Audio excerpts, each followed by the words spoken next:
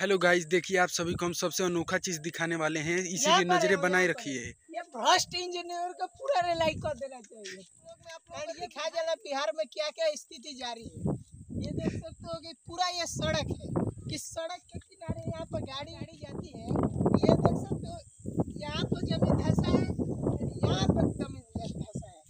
ये ज़मीन का पूरा ऊपर यहाँ पर खेत में जाने के लिए पूरा ट्रैक्टर ही फंस जा रहा है और बताइए ऐसे इंजीनियरों को कैसा रिलाई करना चाहिए पूरा रिलाई करके छोड़ देना चाहिए।